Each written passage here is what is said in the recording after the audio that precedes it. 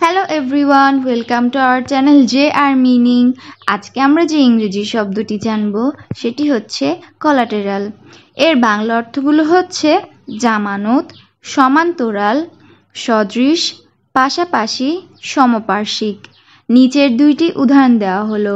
প্রথম উদাহরণটি হচ্ছে the collateral for the loan was the borrower's house আমি আবারও বলছি the collateral for the loan was the borrower's house এর বাংলা অর্থ হচ্ছে, ঋণের জামানত ছিল ঋণগ্রহিতার বাড়ি।